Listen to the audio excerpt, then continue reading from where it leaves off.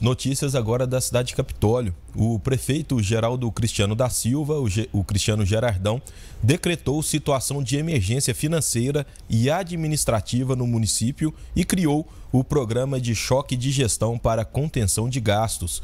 Segundo informações da prefeitura, o setor de turismo caiu 70% após a queda do bloco de rocha nos cânions e de Capitólio, né, que causou a morte aí de 10 pessoas, e também com a inundação da entrada da cidade no início deste ano.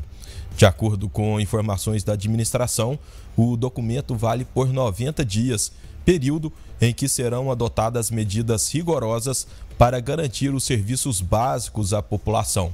Para o prefeito, mais de 50% dos municípios brasileiros estão enfrentando problemas financeiros desde a pandemia da Covid-19 e também com a queda na arrecadação com os repasses do Fundo de Participação dos Municípios. De acordo com o prefeito, a tragédia nos cânions e o alagamento que atingiu a entrada da cidade fizeram com que a prefeitura aplicasse cerca de 2 milhões de reais na recuperação do setor turístico. Cristiano gravou um vídeo e divulgou nas redes sociais da prefeitura. Vamos conferir. Estou assinando o decreto de número 389 de 2023, que está em minhas mãos. É meu dever como gestor garantir o bom andamento da cidade. Por isso, emitimos um decreto para a redução de gastos do município. Diversas cidades pelo estado e pelo Brasil estão passando por necessidade de contingência de gastos. De acordo com a CNN, Confederação Nacional dos Municípios, esse número hoje é de cerca de 51% das cidades brasileiras. O decreto ele vem para garantir a qualidade e atendimentos essenciais que nossa cidade oferece. Por isso, estaremos contingenciando gastos em áreas menos críticas, para que possamos manter a nossa cidade funcionando e crescendo cada vez mais.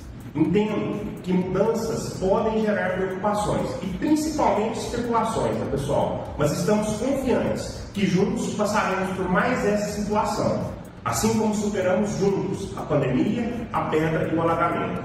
Agradeço a compreensão de todos os nossos funcionários e de toda a nossa população.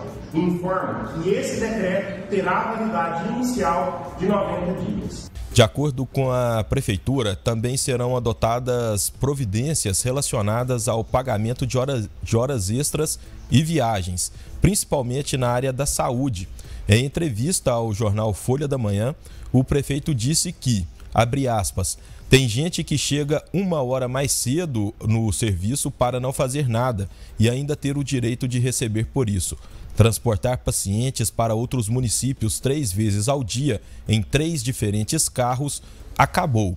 Agora é uma viagem só, levando todos que têm exames ou consultas, seja qual for o período do dia. Do contrário, os demais esperam o último a ser atendido para todos voltarem juntos Fecha aspas, disse aí o Cristiano. Segundo o prefeito, na saúde, o município investiu cerca de 35% do orçamento em 2022 e continua no mesmo ritmo em 2023. Abre aspas.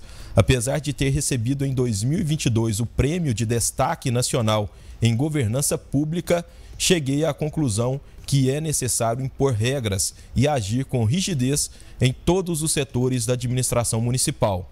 Só assim para não deixar o setor financeiro em situação crítica antes que perca o controle de tudo, fecha aspas, concluiu o prefeito de Capitólio.